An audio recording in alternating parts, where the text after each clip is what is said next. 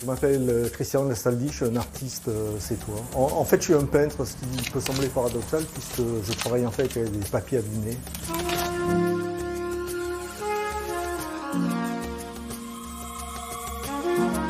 Des papiers qui ont, subi les, outrages du temps et qui, par ce processus, ont acquis une humanité.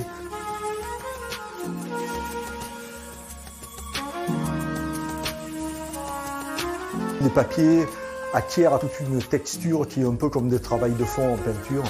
Donc c'est pour ça que je me définis en fait comme un peintre, bien que je n'utilise pas de peinture. Parce je vais aller prélever mes couleurs sur les papiers et mes coups de pinceau seront les déchirures que je ferai à la main.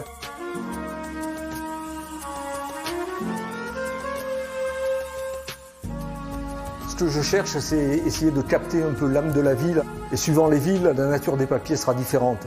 À Paris, dans le Marais, où j'ai plus des affiches de mode, alors qu'à Beyrouth, je vais avoir des papiers totalement déchirés et qui ont pris énormément de poussière.